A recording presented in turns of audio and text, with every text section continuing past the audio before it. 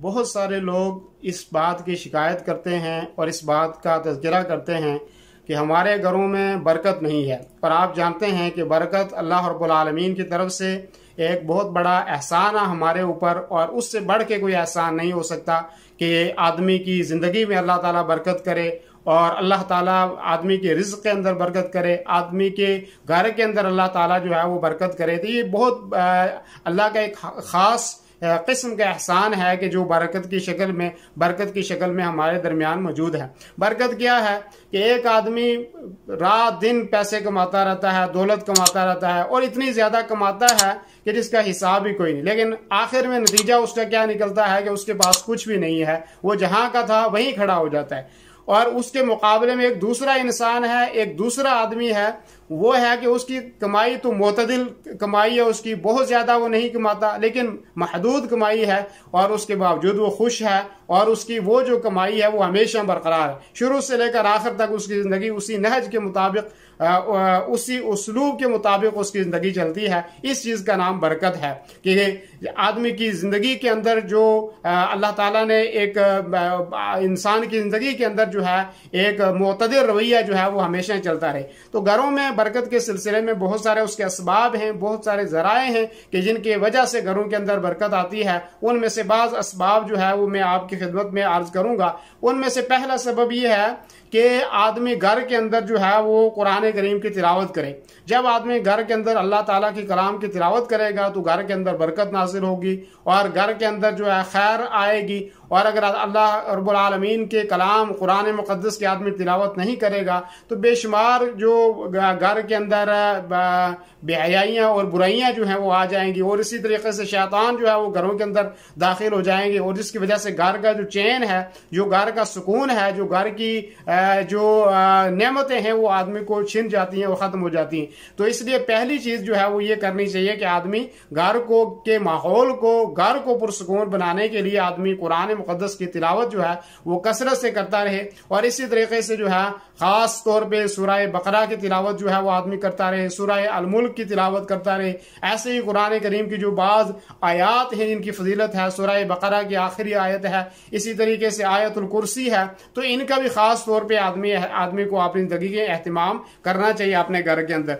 दूसरा सबब जो घर में बरकत का ज़रिया जिससे घर में बरकत होती है वो दूसरा सबब ये है सल्लल्लाहु अलैहि वसल्लम की सही हदीस है कि जिस घर के अंदर जो है बिस्मिल्लाह पढ़ के आदमी दाखिल होगा, उस घर के अंदर शैतान दाखिल नहीं हो सकेगा। तो कितनी बरकत कितनी बड़ी बात है। सिर्फ़ छोटी सी बात है, बिस्मिल्लाह अगर पढ़ ली तो आप शैतान घर के अंदर दाखिल नहीं होगा। जब घर के अंदर शैतान दाखिल नहीं होगा तो आदमी बहुत सारे फितनों से जो है वो महफूज हो जाएगा, लड़ाई झगड़ों से महफूज हो जाएगा आदमी, और जो और घर का सुकून है, वो आदमी को हासिल हो जाएगा। तो इसलिए जब घर में आदमी दाखिल हो तो बिस्मिल्लाह पढ़ के दाखिल हो, और ऐसे ही जो अल्लाह का ज़िक्र करके दाखिल हो, घर के अंदर जो है, अल्लाह रबालमीन का ज़िक्र करके आदमी दाखिल हुआ। ऐसे ही खाना शुरू करता है, अल्लाह का ज़िक्र करे और इसी तरीके से आदमी सोने का इरादा करे तो अल्लाह का ज़िक्र करे। और इसी तरीके से जो है आदमी अपने घर के जो बर्तन है, उनको डांप के रखे। तो ये खास चीज़ें हैं, चिराग बुझाकर। वैसे भी बहुत सारी सुन्नतें हैं, जो घर के ताल्लुक से हैं। उनकी वजात किसी और इंशाल्लाह दरस में करेंगे। लेकिन आज जो है, ज़रूरी जो इसबाब हैं, उनकी तरफ़ में आपका इशारा आपको इशारा ऐसे ही जो तीसरा सबब है, जिसकी वजह से घर के अंदर बरकत आती है, वो है सदका। सदका बहुत बड़ी अल्लाह ताला का एहसान है कि जो आदमी सदका करता है, उसकी वजह से बहुत सारे जो मसायब और तकलीफ़ें इंसान की ज़िंदगी में आनी होती हैं, वो चली जाती हैं सदका करने की वजह से।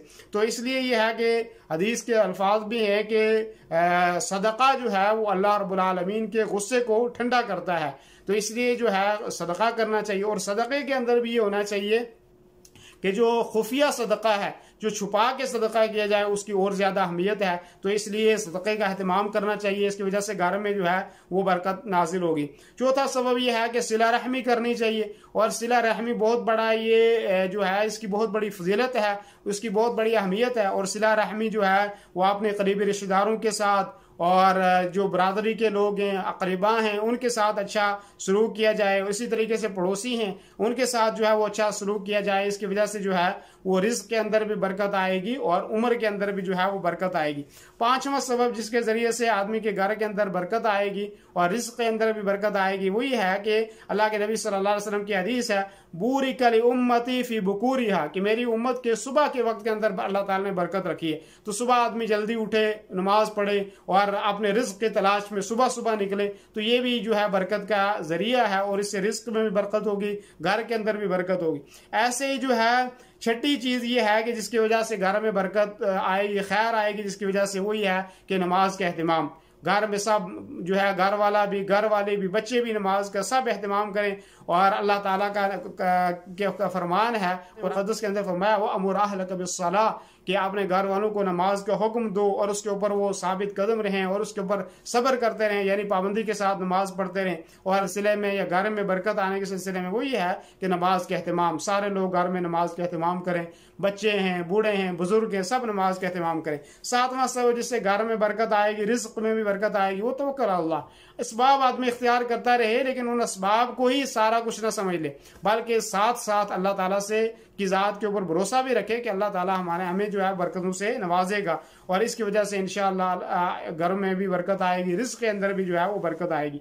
ऐसे ही जो है, आठवां सबब वो ये है कि आदमी इस्तफार करता है और इस्तफार करने की वजह से जो है, आदमी को अल्लाह ताला रिस्क से भी नवाजता है और अल्लाह क्योंकि नबी करीम वसल्लम का फरमान है मन लाजिम इस्तफार कि इस आदमी ने इस्तफार को लाजिम पकड़ा। जमिन कुल मखरजा, कि अल्लाह ताला उसके लिए हर तंगी से निकलने का जो है, वो ज़रिया बना देगा।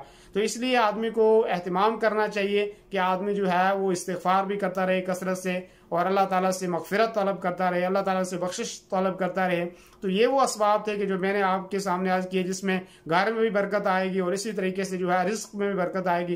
पहला सबब मैंने आपके सामने अर्ज़ किया कि अल्लाह कला कुरान करीम की तिलावत। दूसरा सबब मैंने आपके सामने अर्ज़ किया कि बिस्मिल्लाह पढ़ना और अल्लाह का ज़िक्र करना। और ऐसे ही जो है तीसरा सबब वो सदका करना। चौथा सबब मैंने आपके सामने अर्ज़ किया कि सिला रहमी करना।